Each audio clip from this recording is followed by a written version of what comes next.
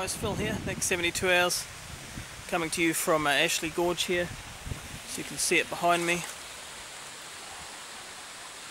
And uh, what we're doing today is we're going to be looking in the forest for some naturally occurring bush tucker. We're going to be looking at honeydew. And what we need for that is a natural uh, beech forests and um, if we take a look behind us here there's actually quite a few beech trees. In fact a lot of this area is made up of beech. And uh, so what we're going to do is take a bit of a hike through this bush here, find us a beech tree, and uh, then we'll have a look at the honeydew itself and uh, discuss a bit more about what exactly it is. So uh, we'll head on in now and I uh, hope you enjoy it. Alright, so we're going to head through this bush here. See if we can't find our way up to that beech tree.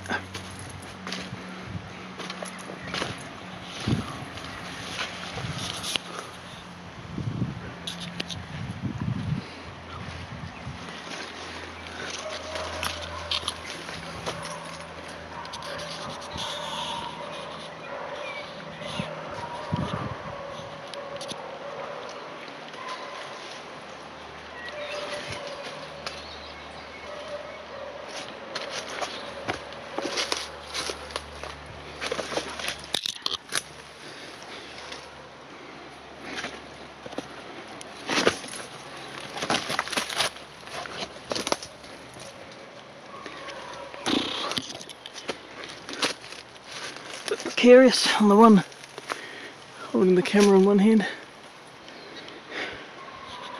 But there she blows. And hopefully she'll have some of nature's finest bush tucker for us to have a look at.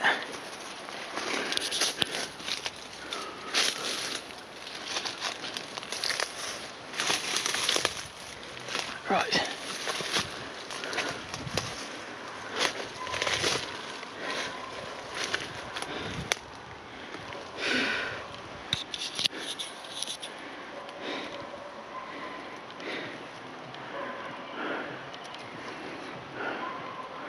It doesn't look like this is going to be an overly good example actually, so there's a little bit there.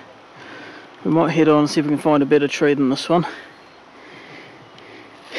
And uh, come back to you shortly. Right, so we've come a bit further up the river and what we're looking for is the beech tree or mountain beech. And uh, here's a good example here. It's a huge tree. And the difference you'll notice there is it's got that very black trunk. So what that is is actually a sooty coloured mould and that grows on the beech trees and that's where we're going to find the uh, honeydew growing as well. So you can see they're all throughout this forest here. There's another good one, there's another one here. And if we look up here, oh, it's pretty hard to see with the sun in the way, but that big tree there with the black is also a beech tree. So they're all over the place. So what we'll do is we'll get up close to one of them and I'll show you um, the mould and uh, the honeydew and how it grows and how it's produced. Alright, so this is exactly the sort of tree we're looking for here, the mountain beech. So you can see it's got that browny black sooty moss growing up at here. It carries on all the way up the tree. There's some great examples further up there, but we can't reach that high at the moment. But if we look at the tree itself, on the mould on the outside you'll see these whisker like protrusions. Now what they are is actually the and this sounds pretty gross but the anal tubes of these insects and what they do is they burrow into the tree and they are eating the sugars from the tree the sap and the sugars. And then whatever they can't digest themselves they excrete in this beautiful clearish, amberish, sugary liquid here, which we call honeydew.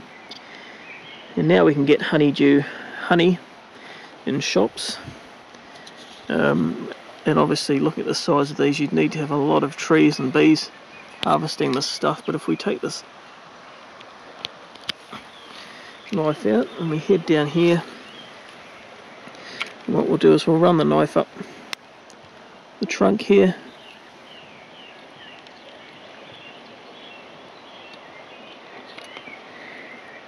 along these tubes.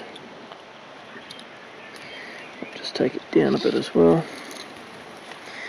There's a lot more further down the tree.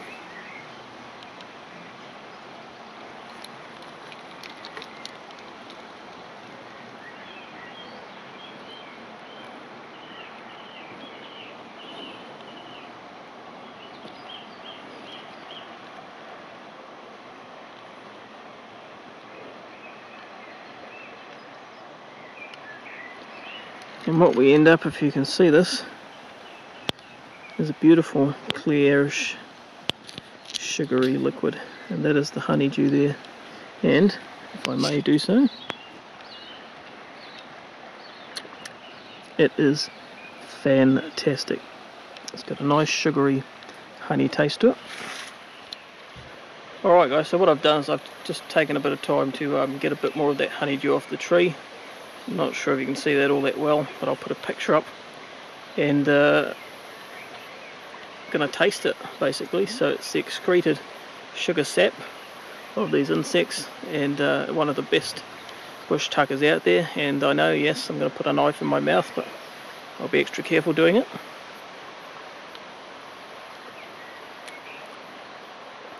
And it is delicious. It kind of reminds me of a manuka honey or um,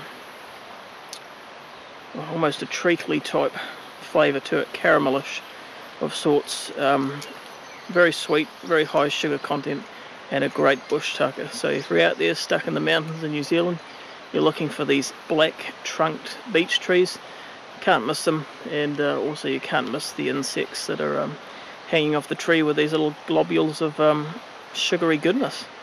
So thanks for watching. Um, hope you enjoyed the video and a bit of a tour out here and um, we'll catch you in the next one.